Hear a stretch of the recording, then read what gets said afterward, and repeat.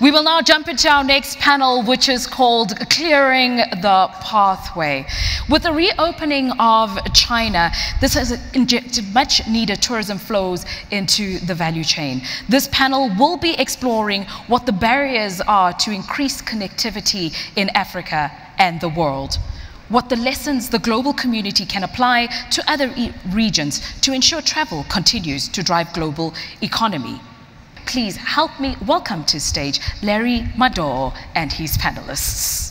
My name is Larry Madowo, international correspondent at CNN. I'm so excited to lead this panel with Paul Griffith, CEO of Dubai Airports, Minister Patricia de Lille, Minister of Tourism in South Africa, and Dr. Alfred Mutua, Minister of Tourism and Wildlife from Kenya. It's an amazing thing that we're meeting back here in person, obviously talking about clearing the pathways, reviving the travel and tourism industry after COVID. And at least in for Dubai airports, you're already back to 2019 levels. You're looking forward to projections for the rest of the year. And I think the value of being able to meet in person is that we're here. You get to see this beautiful, clean, safe African city in person. And I hope you get to go and see the mountain gorillas that we are talking about earlier. It's spectacular. I highly recommend it. You can't see Table Mountain on, on, on, on video. You're going to have to go and see it. You have to see the wildebeest migration in Mara in Kenya in person. There's no alternative for that. So using that as a springboard, Paul, starting with you, what do you think is the greatest either impediment or the one thing you think we need to further unlock connectivity and make sure we're clearing the pathway so people can move around the world? Well, thank you for that. I think, first of all, the there is a massive challenge ahead, and I think we've referred to it many times during the course of this morning, and that is sustainability, because aviation, travel and tourism clearly is a very tricky area. We saw in Julia's presentation this morning 40% of the carbon footprint of travel and tourism originates from mobility.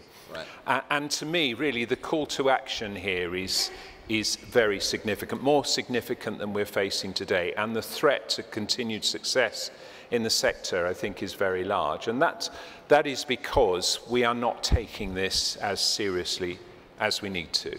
But I can give you an example of how... What are we not taking seriously? You're, you're getting to it. I'm sorry. Yeah. I'm preempting here. yeah. what we're not taking seriously is the fact that this needs to move up several gears. And we've done it before. I mean, let me give you a, an illustration. In the 1920s, if you traveled by air, it was an incredibly hazardous business. The chances of you completing your journey safely were probably far, far from what anything we would re require um, from safety standards today. And in fact, you know, in 2019, now even in recent past, since 1970, you are 81 uh, times more likely to complete your destination safely, to your journey to the destination. So safety has become part of the DNA of travel and mobility. Right. Now, the thing is, you see, I don't think that we can continue to suggest that sustainability can be dealt with in any other way. And safety has been tackled with three fundamental component parts. First of all, industry, the whole supply chain, has invested in the technology and the advancement to make flying safe. So the investment has been there. The second thing is industry has worked proactively with governments all the way around the world to evolve a common standard and approach. And thirdly, and most importantly, customers have come to expect that they can complete their journey safely and the costs of all that have been embedded in the supply chain. So goods and services, not just in travel and tourism, but across the whole of everything we use and consume, I think we need to change that attitude. We shouldn't be producing anything that doesn't fully have the mitigation and the cost of mitigation engineered into the supply chain. That means costs of goods and services is going to have to go up. But quite honestly, I'd rather pay the price of making sure that my children and grandchildren are able to continue to live safely and effectively on the planet right. by paying more for goods and services today. I don't want to be seen in the future as the person who could have done something about it and failed to do so. So the call to action is urgent and important, and it needs a fundamental shift in the industry if we don't head for a big problem ahead. You don't think that the industry is paying enough attention to this? Because if you look at the literature of the organizations represented here, public or private sector, they all have sustainability goals and they have a date set to them 2030 we, we have to be this and that. You don't think that's enough? Uh, there is a huge amount of publication and discussion. So the attention is there. Right. It's the mechanism to deliver, I think, needs to be ramped up. I don't think this item uh, is receiving the timescale of the urgency that it absolutely needs. And it's really governments and industry moving together and making sure we have a strategy for getting this done in the time scale it needs to be done. Thank you. That's a good point to um, move this conversation further. Minister De Lille was uh, nodding along. The topic of this discussion comes up in all of these forums all the time. So I'm going to ask you, what do you consider or what are the barriers to increased connectivity here in Africa and the rest of the world and how you're working to change that? Well, the low level of inter-Africa travel, air connectivity in the continent is depriving the continent of reaching its full potential. His Excellency uh, Paul Kagame made mention this morning of the single air transport market agreement. Right. Signed years ago. Years ago. And today, where we are sitting, only 34 countries of the 54 countries in Africa has actually signed that agreement. But the implementation has been minimal. So we, we either say we go forward doing two things. One, we leave the rest who did not sign behind, and the 34 countries of which South Africa is included that have signed that agreement, we move on. And then the second solution, I think, is that we need to get WTTC to intervene. I think WTTC will be able to be in a better position to convince those African countries that have not signed the agreement about the potential and the value for their respective countries. But we can't continue to talk about this forever and a day. So yes, um, for Africans to travel in the continent, you sometimes have to leave the continent to go and connect somewhere else and then travel back into the continent. Minister, I was just telling yes. Paul before to come from Nairobi to Dakar, I had to fly to Dubai to yes. get to Senegal. Yes, I was recently in Mauritius with the UNWTO um, uh, Africa Region Conference, and many of the ministers that attended had to fly to Dubai and then fly back to Mauritius. So I also think we need urgency here, together with the safety, but the urgency of getting Africa connected to the rest of the world, we are losing out. So action that we need to see from, from all African governments. And I've seen this morning His Excellency President from Rwanda and the President from Tanzania as giving us the lead that that is the way to go. We need to deal as African countries with the red tape. We need to deal with link to air access also in air connectivity is the issue of the visa regimes. Uh, we still have got too many problems around entry so that we can move freely in, in, in the continent. And I'm not saying South Africa is doing well, but we're trying. I want to say to Judy, uh, the issue of Ghana has been resolved. Uh, Ghana has got a, a 90-day visa wa waiver to come, and so does 34 other countries in Africa, visa waiver to come to South Africa. But I hope on forums like this that we will be able to not just talk about it, but leave away from here with a clear action plan. Thank you. You were talking about connectivity, uh, Minister. I am flying from Nairobi on Monday to Casablanca. Yeah. I'm having to fly first to Frankfurt and then back to Casablanca. If you imagine that distance, that is a, the size of the problem we're talking about. Yes. My Minister of Tourism is here, and I know you're actively working to connect more of the continent. Kenya has made a recent big announcement about visas for Africans. Yes. Tell me about the thinking here and what this hopes to achieve. What you're looking at is, uh, thank you, Larry, we are learning from examples of Rwanda, for example, that have opened up visas, uh, ability for Africans to travel. The biggest challenge we've had as Africans is that for a long time, we've been uh, taught to fear each other. Yes. You find that at times it's easier for a European or an American to visit our continent than an African to visit a fellow African. It comes back to the days of colonialism, where divided they fall, united they stand, and we are taught to divide again, uh, uh, you know, to divide, you know, and keep away from each other.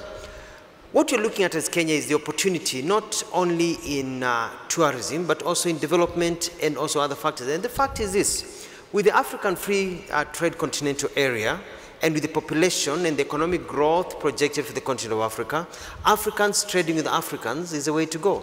So in Kenya, we are looking at, by the end of this year, to make an announcement that all Africans can come to Kenya uh, without requiring any visa.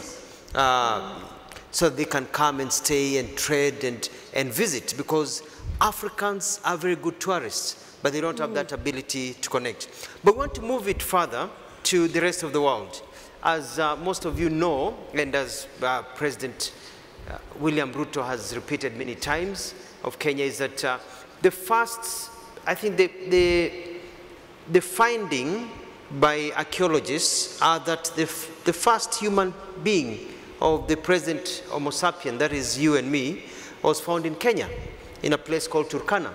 So the question is, if it was found in Kenya, and that's where humanity began in terms of people getting up and walking and going to the rest of the world, why do the people of the world need a visa to come home? Because they're basically coming home. So we are looking at rolling out a free visa regime not only for Africans, but for the rest of the world, so that people can actually come home. And in tourism, we are going to make it easier for you to come to Kenya.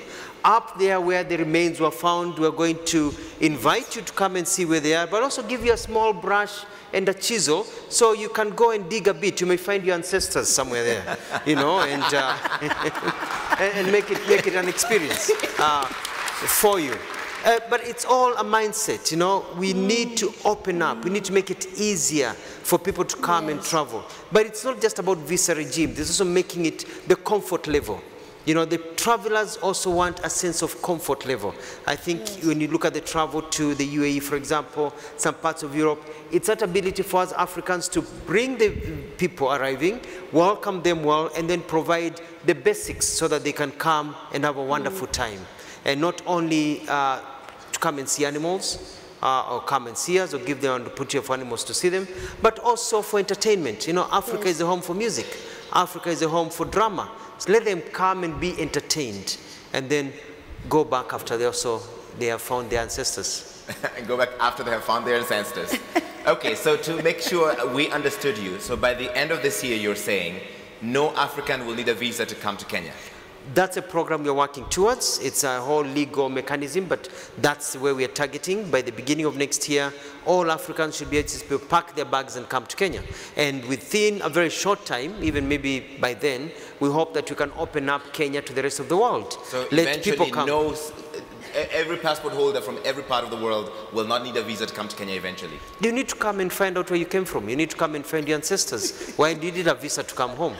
And that's the reality.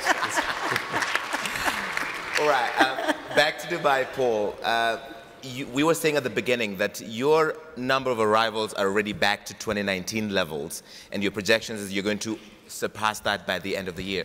What is Dubai doing differently that the rest of the industry should be paying attention to? What is the secret sauce here? Okay, well, I think it really started when the pandemic unfolded, and Dubai and the UAE government acted very quickly, first of all to get the entire population vaccinated, I think we were the fastest country in the world to get the population vaccinated. Secondly, actually, we were the first to open up again after the pandemic in just four months.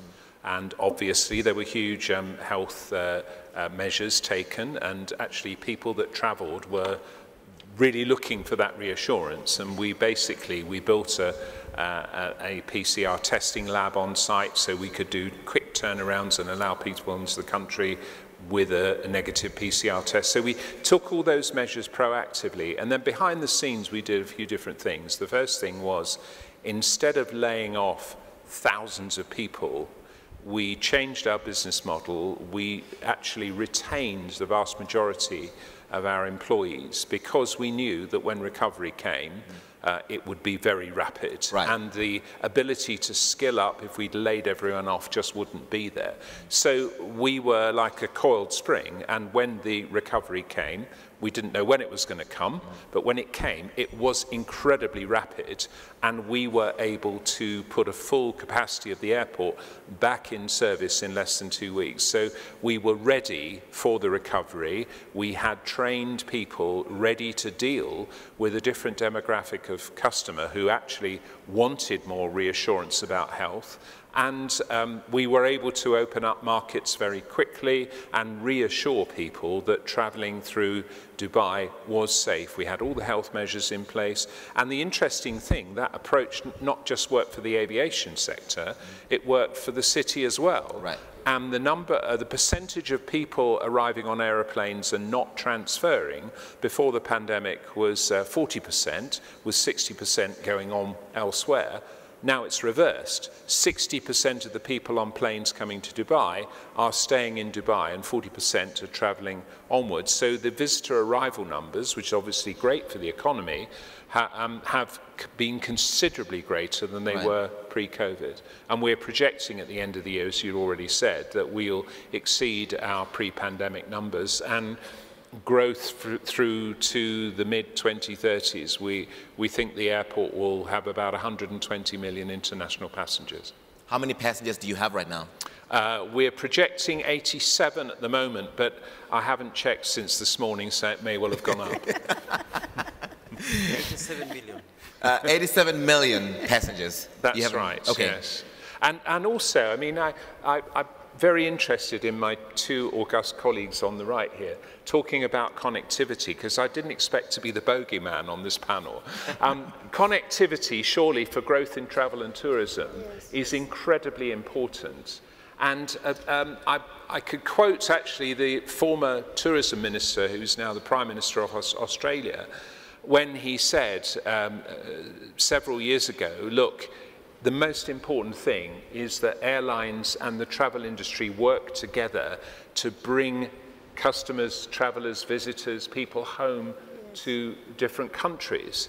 How they actually arrive there is perhaps less important because the economic and social benefit is there um, irrespective of which airline they come onto. Right. That I think helps around the corner because technology is changing. One of the big um, reasons why Dubai has been so successful as a hub is the economies of scale that large aeroplanes yes, yes, yes. and you know we've got something like um, 254 different cities 104 countries and 90 airlines. Again I haven't checked those figures since this morning. It may have gone up.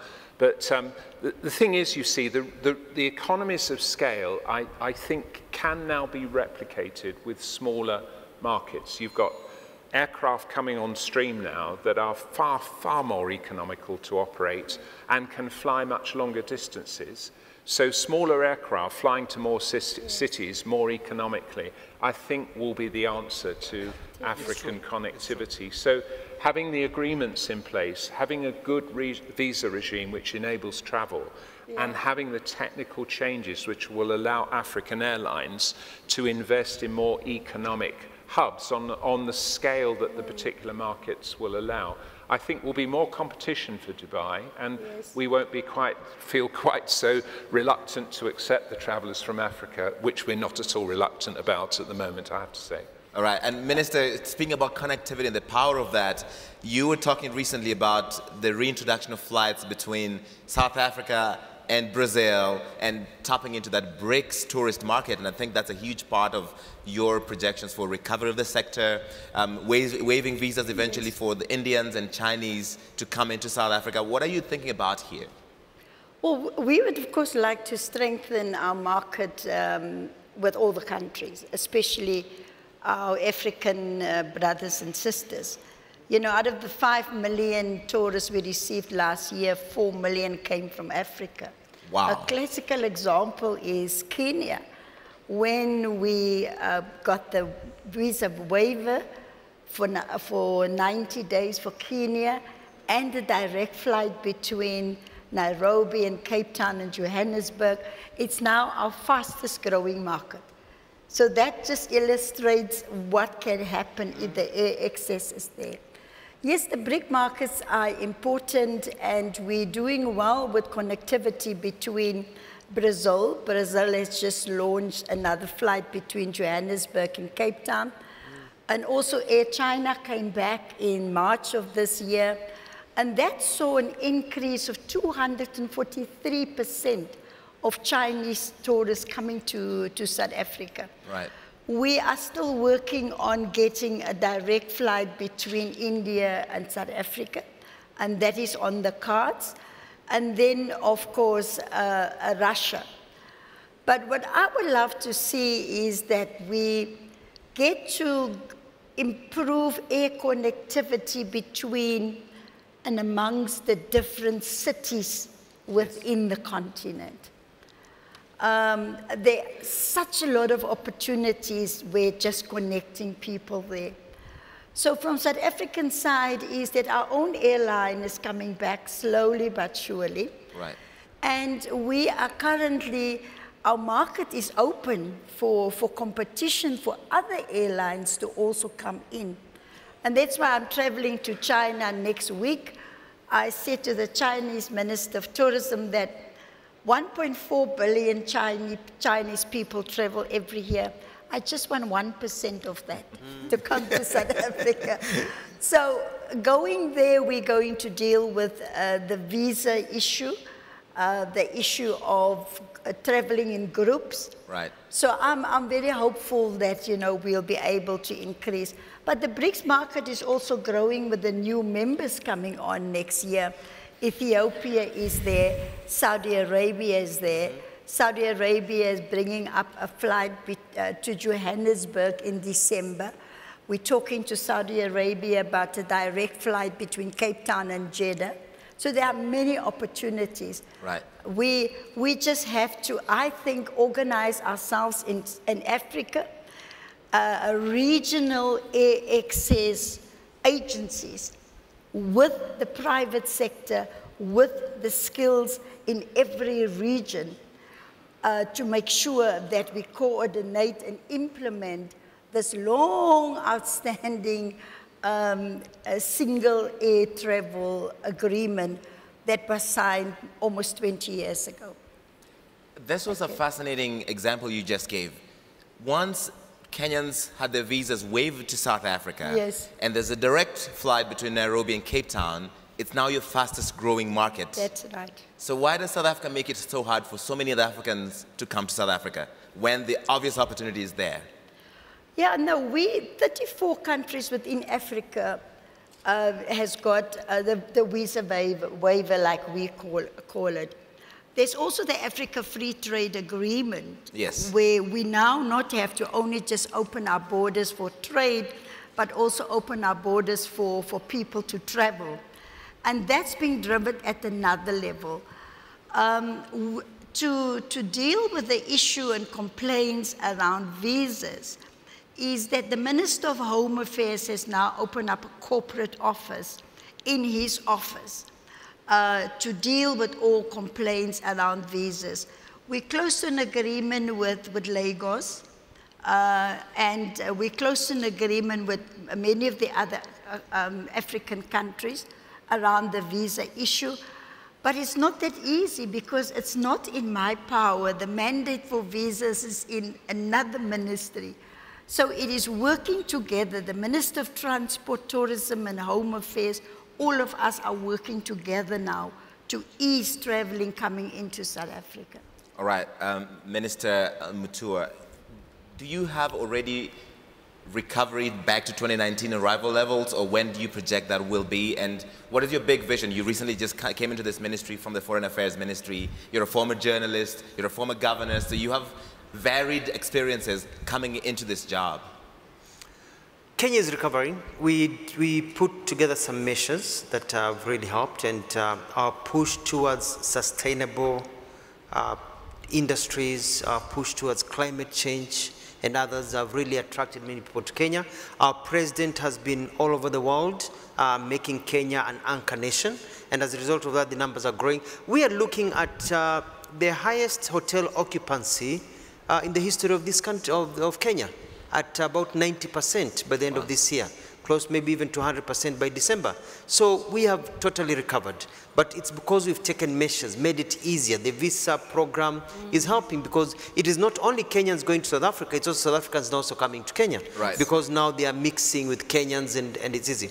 Talking about the air transport, for example, uh, the connectivity and transportation, we really have to think hard about what to do because our small airlines may not be able to do the long distances. And there's been talk about collapsing some of our airlines that are struggling, South African Airlines, Kenya Airways, and others, into a regional airline uh, that can now be big enough to have to be able to, to ferry a lot of Africans within Africa at a cheaper place so that you don't have to go outside the continent to come, back, back to, to Africa. So that's only. But also we need to think broadly. We're talking about climate change. We're talking about green energy. We're about connectivity. Look at Europe. Europe was opened up by trains. The Americans were opened up by trains. It doesn't have to be air. And we welcome private-public partners to come, industry. Let's build uh, electric trains and, uh, and you know, open up the continent so that you can travel from uh, Dar es Salaam all the way to Kenya, all the way to, to Rwanda where we are, through right. Uganda, cut across and end up at the coast of uh, Sierra Leone, you know, using the train system. So that as a tourist, you have more options than just flying because you can't really connect the continent with just uh, airports and airlines. So we need to think broadly in terms of what else can we do to grow the numbers. Mm. And there's a question for you from the audience here for the Kenyan minister. E-visas and electronic travel authorizations, when done correctly, are a good source of security and also revenue generation. So how will Kenya close both of these gaps if you go visa-free? I think um, one of the issues about, uh, I, had a, I had a talk with a gentleman uh, earlier on, and we were talking about, oh, visas, you know, actually, you know, because you're afraid that you'll get terrorists, you'll get others. But you know, the reality is that terrorists will always come. And they always find a way if they need to be there. They will game the and they, will find a way. They don't usually come like other travelers. So we are keeping away 99.5% of people because of a 0.5 or 0.3 or 4 bad people. So we have to rethink the whole system of uh, fear of bringing people because of security. You know, and I think the UAE has been a very good example by welcoming the world to come, you know, and we, we just have to get our act together in other sectors and get people to come to the African continent. And look at it this way. What do we have to fear from our fellow Africans? What is the security threat from our fellow Africans? There is none, basically. You know, it's all in the mind. So if we open it up and people are able to come, and uh, even if we look at the cost element, it's a free visa regime, or even maybe you can pay for your visa right. on entry, you know, as mm. others from Europe and Americas able to do. So you're not worried about the potential loss of revenue when people pay for e-visas or ETAs, they're just coming in for free? They can come, because we are looking, you know, look at it this way. Don't look at uh, at the small uh, amount of money you're losing. Look at the larger pot that you're going to gain. You know, it's, it's, it's small compared to how much you'll gain right. by getting all these visitors coming in. Uh, the employment, you had Madam Suluhu talk about 6 million, you know, yes. the program, you, you, gain much more by opening up to the world. You know, we always say that uh, if you want to, for those who are, uh, who are meat eaters, I know a lot of people are vegetarians, if you want to get a chicken, you, you drop droplets of maize towards you. You know, you drop Right. maize, it comes. It's a Kenyan thing. Drop maize, it comes, comes, and then you're able to catch it, you know? And because if you run after it, it will keep on running. So you don't calculate the cost of the maize. It's the chicken that you want, not the, not the piece of maize. I have a minute left to get final comments from Paul and Minister De Lille. I know Dubai has a big expansion and upgrade process as you project all of that. So what's your big vision here, really quickly? Well, the vision really is to build on what my boss said to me 16 years ago when I walked into his office for the very first time. And I said, Right, I'm here. What do you want me to do? And he said, Just one thing. Don't ever constrain the growth of the aviation infrastructure in Dubai. So I've got a very red or green objective to achieve, and hopefully we can stay on the green side in both senses of the green word. Just make it facilitate. Minister De Lille, final word goes to you. What, is, what do you want this industry professionals to take away from here? Well, I would like to see that the partnership between the public and the private sector must be consolidated in the tourism industry. Government must facilitate regulations, visa, uh, um, access to our countries, but we can't do it alone as government. So we need the help of the private sector. And therefore, I've called on WTTC to assist us to facilitate uh, regional air access teams with the techn- technical skills uh, to bring us together as African countries and let us exploit that value. So partnership with the private sector for me is very key. All right, that's where we're going to leave it. Please give a big round of applause to the panel. They've been fantastic. Ministers Matua, De Lille, and Paul. Thanks a lot.